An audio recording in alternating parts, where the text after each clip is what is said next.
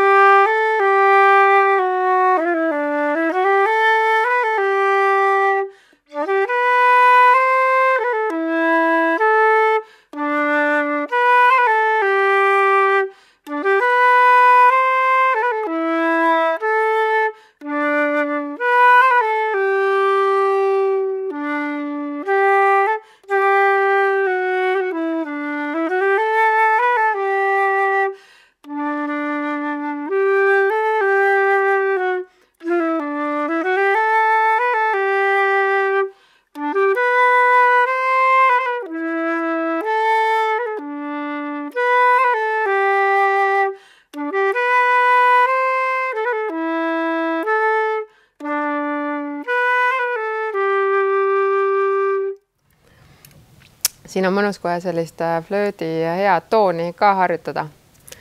lugu koosneb kahest osast, A-osa ja B-osa, mõlemat äh, kordab. alustame esimese poole ja esimese fraasiga A-osast. G-tuuris siis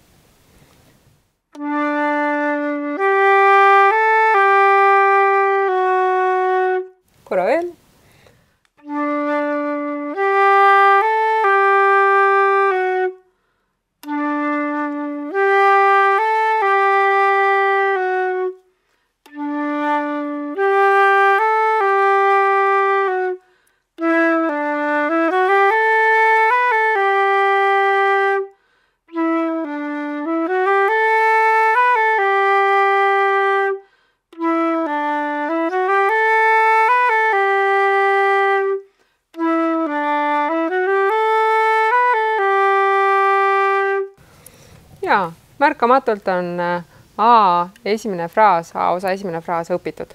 mängime siis aeglaselt selle äh, algusega kokku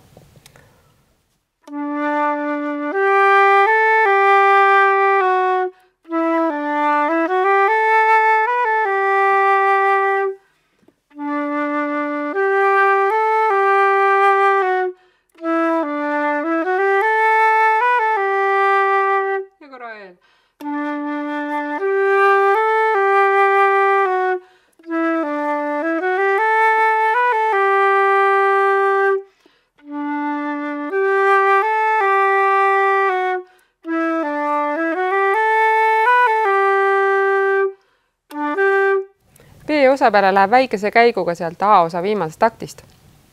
Äh, mängimegi nüüd äh, B-osa esimest fraasi. Ja algan siis selle eeltaktiga.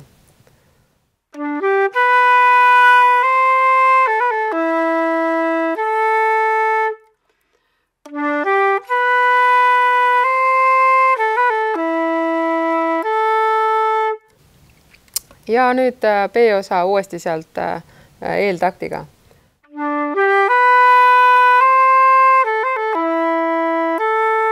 korra veel. ja teine pool.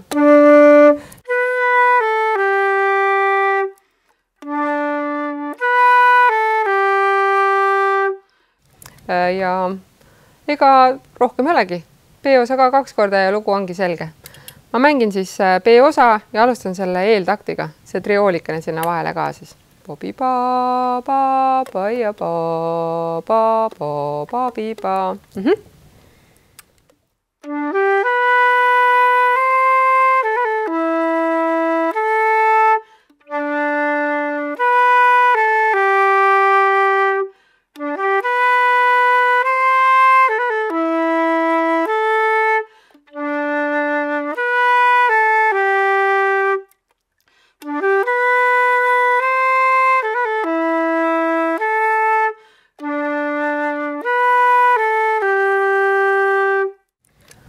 Ilus, väga hästi juba teil ka kõlab, ma kuulen.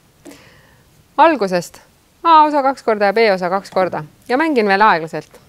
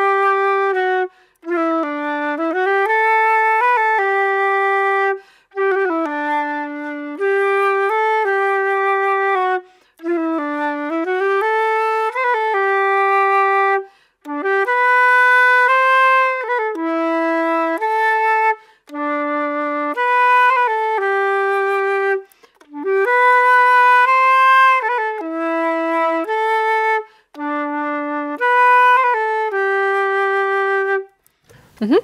siin on mõned trillerid siin näiteks. Äh, võib-olla see B-osa triller on kõige sellisem äh, romantilisem, ma näitan, kuidas ma seda teen.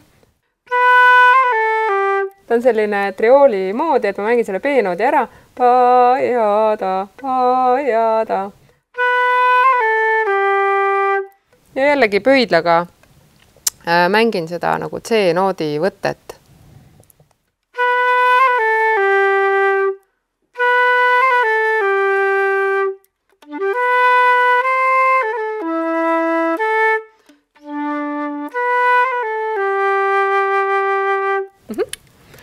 ega see torupillimängija muidugi seda nii romantiliselt ei mänginud, natuke tõstame tempot ja lugu kõlab nii